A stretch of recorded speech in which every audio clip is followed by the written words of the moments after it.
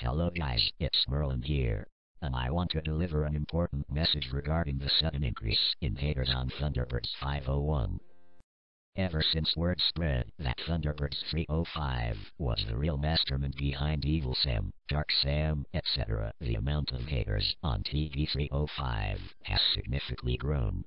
And the amount of haters quickly spread to TB 501 because he supports TB 305. Unfortunately, this has resulted in many users blocking TB501 on Google as well as a slight increase in dislikes. But, as you've seen in the previous video, haters aren't going to stop Thunderbirds 501 from growing.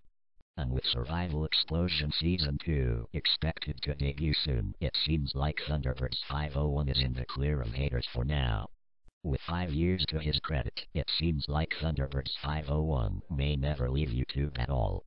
Well, that is it for this short message.